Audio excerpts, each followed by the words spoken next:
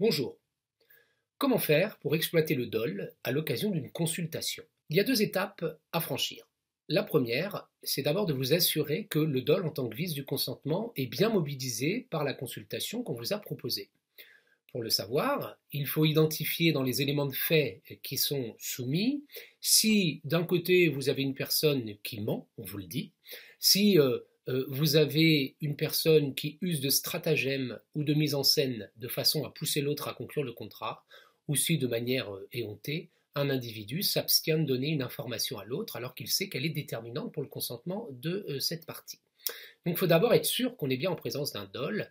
Comme on dit parfois, le dol, ça n'est pas une erreur spontanée, c'est une erreur qui a été soit provoquée, soit parfois exploité par le co-contractant. Une fois que vous avez identifié le dol et que vous savez que vous devez traiter du dol, comment faire dans votre majeur pour introduire les éléments relatifs à la résolution du cas pratique et euh, plus précisément euh, la résolution de cette hypothèse de l'OSI. Vous avez au fond un point de départ qui est de rappeler qu'il existe plusieurs vices du consentement en application euh, de des articles 1128 et suivants et que vous allez cibler sur le dol.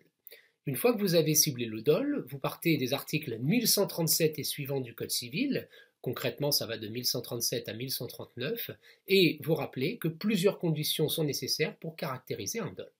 La première de ces conditions, c'est un élément matériel, soit des manœuvres, soit des mensonges, soit tout simplement le fait de garder le silence. Le deuxième élément caractéristique du DOL, qu'il faut absolument mentionner, c'est l'élément intentionnel.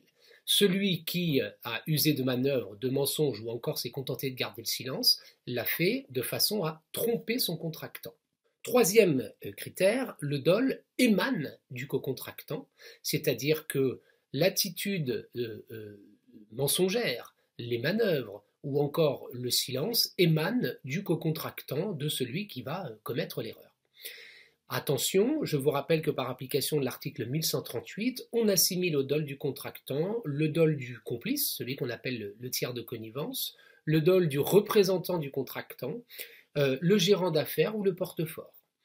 Attention néanmoins, parce que euh, vous n'êtes pas sans savoir que la jurisprudence décide que quand le dol a été commis par le représentant euh, du contractant, on ne peut solliciter que l'annulation du contrat lorsqu'on a été victime d'un dol, mais on ne pourra jamais demander l'octroi de dommages et intérêts vis-à-vis du représenté, c'est-à-dire du co-contractant, s'il n'est pas établi que lui-même a commis de faute. Concrètement, le dol en tant que délit civil ne peut pas être retenu à l'encontre du représenté, donc du co-contractant, euh, lorsque c'est le représentant qui a commis le dol. En revanche, on peut toujours demander la nullité du contrat. La dernière condition, il faut que le dol, pour pouvoir être pris en considération, ait provoqué une erreur. Il faut apporter les précisions suivantes dans votre majeur. Toute erreur qui a été provoquée par le dol est prise en considération.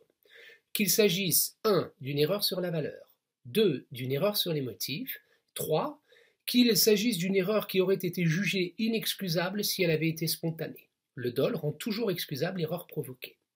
Il y a une dérogation qui est prévue par l'article 1137 alinéa 3 c'est qu'on ne peut jamais se prévaloir d'une erreur sur la valeur lorsque le dol a été commis par une euh, euh, réticence de l'osive et qu'il apparaît que l'information qui n'a pas été délivrée au contractant était précisément l'information relative à la valeur de la prestation.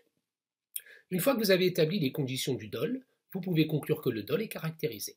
Le dol caractérisé, vous glissez vers une nouvelle majeure et vous expliquez quelle est la sanction du dol. Vous expliquez que le dol est une cause de nullité relative, que par ailleurs vous avez 5 ans en qualité d'errance, euh, la victime du dol. Vous avez 5 ans pour agir soit en nullité du contrat, soit euh, en octroi de dommages et intérêts, étant précisé à nouveau que vous ne pouvez demander de dommages et intérêts vis-à-vis euh, du co-contractant que si c'est lui-même qui a eu l'attitude de l'osive.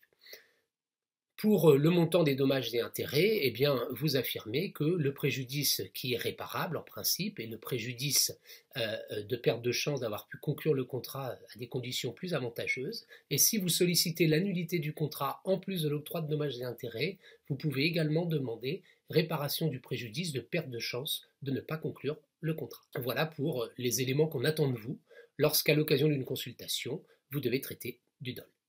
Merci de votre attention. À bientôt. Au revoir.